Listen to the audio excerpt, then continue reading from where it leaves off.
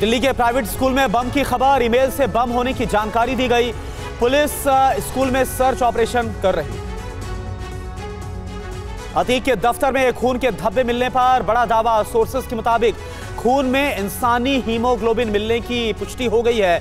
आसपास के क्लिनिक और अस्पतालों में पुलिस की पूछताछ आ जाएगी एफएसएल की रिपोर्ट। अतीक और अशरफ के हत्यारों से एसटीएफ ने प्रतापगढ़ जेल में पूछताछ की।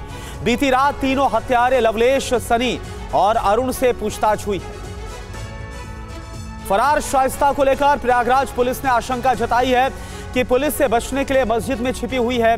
पुलिस के पहुँचते ही बुरका पहने महिलाएँ, उसको बचाने के लिए आगे आ जाती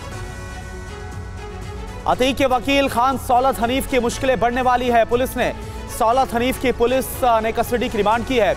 सीजेएम कोर्ट में अर्जी दाखिल की गई। बाहुबली आनंद मोहन की रिहाई पर महागठबंधन में विवाद। सीपीआई एमएल ने भादसी कांड में 22 साल से जेल में बंद। छह टाडा बंदियों को रिहा करने की मांग की है। रिहाई के लिए नियम बदलने के फैसले पर आईएएस एसोसिएशन ने सवाल उठाए। आनंद मोहन की रिहाई पर कृष्णैया की पत्नी उमा कृष्णैया का दर्द छलका। टीवी नाइन से कहा, हमारे साथ अन्याय हुआ है। आनंद मोहन के लिए नियमों में बदलाव गलत है। पंजाब के पूर्व सीएम प्रकाश सिंह बादल का गुरुवार को होगा अंतिम संस्कार श्रद्धांजलि देने। चंडीगढ़ जाएँगे पीएम मोदी। केंद्र सरकार ने दो दिन के राजकीय शोक का ऐलान किया। प्रकाश सिंह बादल के पार्थिव शरीर को अंतिम दर्शनों के लिए शिरोमणि अकाली दल के चंडीगढ़ स्थित कार्यालय में सुबह 10 से दोपहर 12 बजे तक रखा जाएगा। दोपहर 12 बजे के बाद चंडीगढ़ से भटिंडा के लिए शव यात्रा निकाली जाएगी। पीएम मोदी आज सौराष्ट्र तमिल संगमम के समापन समारोह को संबोधित करेंगे। पीएम मोदी थोड़ी देर के बाद वीडियो कॉन्फ्रेंसिंग के ज़रिए कार्यक्रम को संबोधित करेंगे। दिल्ली में पहलवानों के प्रदर्शन पर कांग्रेस महासचिव प्रियंका गांधी का ट्वीट, लिखा, खिलाड़ी देश का मान होते हैं। खिलाड़ियों के आरोपों की जाँच हो। प्रदर्शन को राजनीतिक पार्टियों के समर्थन पर बोले पहलवान बजरंग पुनिया। मंच खुला है, देश का कोई भी नागरिक समर्थन कर सकता है। ब्रिजभूषण सिंह अगर निर्दोष है तो साबित करें। पत्रकार हामिद मीर के खुलासे से बौखलाई पाकिस्तानी आर्मी कहा, सेना पर अनाप शनाप दावे सही नहीं, ज़रूरत पड़ी तो जंग के लिए तैयार है।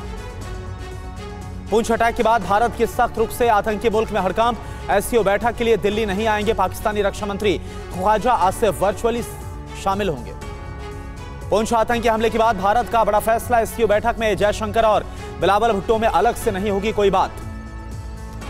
सूडान में फंसे भारतीयों को लाने के लिए ऑपरेशन कावेरी जारी है। तीन जत्थों में 500 से ज़्यादा भारतीय सऊदी अरब के जिद्दा पहुँचे हैं। मदद के लिए भारत ने सऊदी सरकार का आभार जताया। पीएम मोदी 30 अप्रैल को कर्नाटक में करेंगे चुनाव प्रचार। कोलार, चन्नपटन और बेलूर में करेंगे रैली। मैसूर में रोड शो कर बीजेपी को जिताने की करेंगे अपील। टीवी नाइन भारत वर्ष से एक्सक्लूसिव बातचीत में बोले गृह मंत्री अमित शाह, कर्नाटक में फिर बनेगी बीजेपी सरकार। सारे चुनावी सर्वे गलत साबित होंगे। कांग्रेस तुष्टीकरण की राजनीति कर रही है। आज कर्नाटक के चुनावी दौरे पर सीएम शिवराज सिंह चौहान तीन विधानसभा सीटों पर करेंगे चुनाव प्रचार। मुख्यमंत्री बसवराज बोमई भी उपस्थित रहेंगे।